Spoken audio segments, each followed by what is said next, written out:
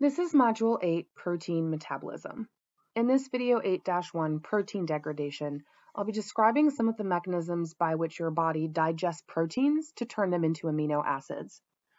Now, your body doesn't use proteins in this form for um, oxidation and generation of ATP. It will use amino acids.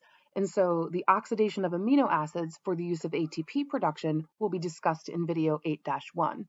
In this video, we'll be, I'll be describing how proteins are broken down into amino acids and what the fate of those amino acids may be. Up until this point, we've been talking about metabolism for the last two weeks, but we've only really been focused on glucose metabolism and the pathways associated with what I call central metabolism.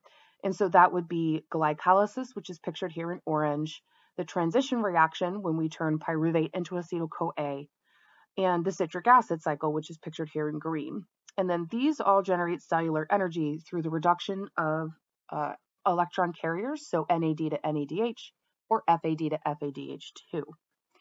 And so what powers both of these pathways is the entrance of glucose into the cell, which is then phosphorylated through glycolysis, um, and then it's allowed to proceed, you know, through central metabolism. However, glucose doesn't necessarily represent the only high energy molecule that can be oxidized to produce ATP. Amino acids can be oxidized um, and turned into one of the intermediates of glycolysis, um, or they can be oxidized, turned into pyruvate, or oxidized and turned into different intermediates of the citric acid cycle, and thereby powering central metabolism. Um, however, proteins have to first be broken down into amino acids before that can happen. And so for this video, I'll be describing what happens in this arrow right here. During this semester, I will not be talking about how nucleic acids can be broken down and funneled into central metabolism. However, um, in Module 9, I will talk about how lipids and fatty acids can be broken down and oxidized to, and funneled into central metabolic pathways. So for the remainder of this video, I'll be talking about just this part right here, how proteins are degraded into amino acids and under what circumstances that occurs. What makes proteins unique compared to glucose and lipids is that proteins cannot be stored and used for later. And so the fate of a protein when you um, consume protein is either break it down into amino acids and use it to build something in the body, or break it down into amino acids and use those amino acids for um, creation of ATP. So oxidize those amino acids to make ATP. You cannot store proteins. Um, you can store fat pretty much um, with no upper capacity, no upper limit. You can store fat pretty much any indefinitely. Your adipose tissue is very good at um, incorporating new fat droplets. And you can store glucose in the form of glycogen for about, I think it's about 2,000 calories that you can store in, um, in the form of glycogen. But proteins, you either use it or you lose it. Um, you cannot store it and use it for later. And so proteins will undergo degradation to amino acids in three metabolic circumstances to perform and fulfill three different functions. The first is normal synthesis and degradation of cellular proteins. Enzymes that are made during metabolic reactions or receptors that are made, any protein that's made in a cell will go through a recycling process. Um, sometimes proteins get damaged or they become irreversibly attached to a molecule that inhibits them. And so your body will recognize these as proteins that, that are not functioning or are functioning in a toxic way and have to be degraded. Um, so, you know, the, um, we, so when you have to build new proteins, you'll degrade, yeah, you'll degrade proteins into amino acids and then build new proteins or you will just degrade um, existing proteins um, into amino acids as part of regular um, uh, cell turnover. Um, another metabolic circumstance is if you're consuming a protein rich diet with ingested amino acids that exceeds the body's need for protein synthesis. So if you are consuming a high protein diet, but you're not um, you you don't have a requirement for muscle building or or enzyme building or anything like that you're already getting all of the other things you need to build those then your body will um, degrade proteins into amino acids um, and then um, um uh, degrade them or expel them um, through waste products. Sorry. So dietary protein digestion begins in the stomach. When proteins hit your stomach, gastric juice will break peptide bonds. So you get um, long protein polypeptides broken into shorter poly, um, shorter peptides. Um, and then there are enzymes present in the intestine, the small intestine, that continue to break peptide bonds, cleaving them into single amino acids. Um, and these enzymes are secreted by your pancreas. So they're like pancreatic uh, proteases. Um, another situation in which you would degrade protein is in starvation or uncontrolled diabetes, when you don't have access to stored glycogen um, or the carbohydrates you are consuming are not properly utilized. They're not being taken up by the cell. And so, under extreme starvation conditions where you have no fat to access and no um, carbs to access, you will start to consume your own muscle tissue. So you'll break down proteins in your muscles into amino acids and then oxidize those amino acids to keep ATP levels high. Um, and so these are the different metabolic circumstances in which you would degrade proteins. Protein degradation also function, and so by doing that, they function as a way to provide energy in times of metabolic need. And so in this situation, when you are starving or when you don't have access to glucose, you will um, degrade proteins into amino acids and then further oxidize them to create ATP. You also degrade protein as a way to eliminate abnormal proteins whose accumulation would be harmful. And so that's part of this metabolic circumstance. Um, if you have proteins that are acting in a toxic way, um, your body will eliminate them, degrade them into amino acids. And then typically those amino acids are used to rebuild a functioning protein. Um, and so that brings me to function number three, which is uh, your body will degrade proteins as a way to create new building material for other proteins. And so you degrade proteins into amino acids, and then you use those amino acids to build muscle tissue.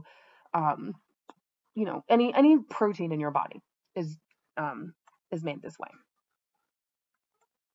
Okay. There are two different mechanisms for degrading proteins in the cell. In the cell now. So material has to be moved into the cell. So proteins, small peptides have to be moved into the cell. Um, and then they are further degraded either by lysosomal degradation or proteasomal degradation. Lysosomal degradation occurs when proteins are taken up um, through binding to a receptor. And so there's a specific receptor that will bind proteins, and then they will be incorporated into the cell through endocytosis, so engulfed, much like a macrophage engulfs a pathogen. Some of those proteins will then be selected for degradation depending on the metabolic circumstance. So if your body actually um, is starving and you need to break those proteins down to amino acids to use to, to make ATP, then they could be signaled for lysosomal degradation. And so lysosomal degradation is a situational circumstance. Sometimes um, your body requires an increase in protein degradation, and so that would activate the lysosome.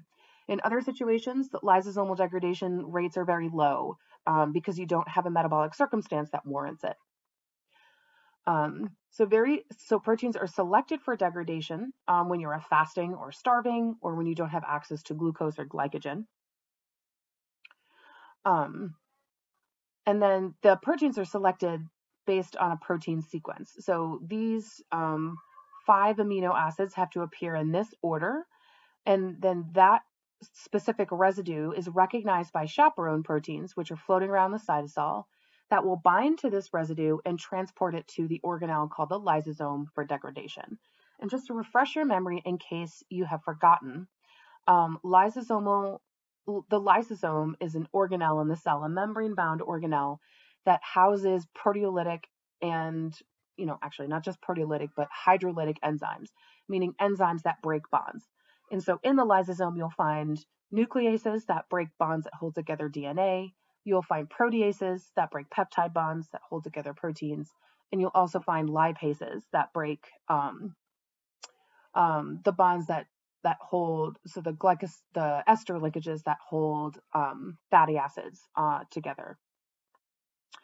Um, and so we have to make sure that those hydrolytic enzymes are housed within the lysosome so that they're not just floating around the cytosol, bumping into things and breaking bonds everywhere. Um, so they have to be sort of sec, uh, sequestered away from everything else so that they don't cause unnecessary cellular damage. By the way, CMA is chaperone mediated autophagy. So let me just add that in. Okay. The other circumstance is just general protein turnover. And so proteasomal degradation functions at a constant rate um, and uh, just helps to turn over proteins, breaking down old proteins to create new ones, and also recognizing toxic proteins, breaking them down to create new, better functioning proteins. And so proteasomal degradation happens at a constant rate basically all the time as part of the general maintenance of the cell, whereas lysosomal degradation is only activated in response to a metabolic need. So first I'm going to talk about um, lysosomal degradation, which is also referred to, uh, uh, which um, occurs through chaperone-mediated autophagy. The term autophagy refers to the body's way of degrading its own tissues um, for use in energy production during starvation and other um, metabolic need circumstances, a low energy state. Um, okay, so chaperone-mediated autophagy, or CMA, is mediated by a, a, specific receptor found on the surface of a liver cell. And so this protein degradation is happening, this specific type of protein degradation is happening in the liver. So once again, another really important role for the liver is um, protein degradation through CMA. Um, the receptor it binds to is called LAMP2A. And so cytosolic chaperone proteins that are floating around in the liver cell cytosol. Um, oh, sorry, so I, I, jumped ahead. So here we have a protein that's um, oh, so, uh, sorry, Okay, pardon me, I misspoke. Um, the LAMP2A is not found on the surface of the liver cells, found on the surface of the lysosome. My mistake. Um, but these are only present, these LAMP2A receptors, and this action is really only happening in the liver cell. All right. Um, and so a cytosolic chaperone protein, so um, these are the yellow circles here, will recognize this KFERQ motif on an engulfed protein. And so the protein has been engulfed by the liver cell. It's now floating around in the cytosol. Um, and then the chaperone protein recognizes this particular motif, the KFERQ motif. And so that's the red string here. The chaperone protein will bind it and then transport it to the LAMP2A receptor on the surface of the lysosome. And so this is all happening within the liver cell. Um, once the chaperone brings it there, that will cause um, more LAMP2A receptors to aggregate around this bound protein. And so you get a large protein complex in, uh, as a result of binding that first one. Um, once the complex is, so once that occurs, the complex will um, move the protein into the lysosome. So it will um, unfold it and move it into the lysosome as a single primary structure polypeptide. Um, and then within the lysosome, proteases will bind peptide bonds and break them resulting in the formation of single amino acids. And so this means the amount of LAMP, so the regulation of this process is through the amount of LAMP2A that's bound on the outside of the lysosome. So if there is a lot of LAMP2A, that will increase CMA, so chaperoned, chaperone-mediated autophagy. Um, if there's less LAMP2A, then um, that will decrease. And the amount of LAMP2A depends on um, hormone signals in the body that signal starvation or fasting.